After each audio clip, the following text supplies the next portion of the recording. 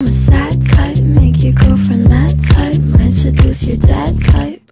I'm the bad guy. Duh.